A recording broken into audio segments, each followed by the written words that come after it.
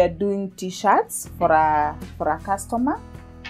And this is how we start. Once we receive the fabrics from the company or the factory the cutting is done. Once the cutting is done the already cut pieces of t-shirts are now given to the first seamstress who starts joining the pieces or the parts of the t-shirts. Then they usually have a chain. From there, they move to the next step, then to the next one, till we have a finished product. And here it is.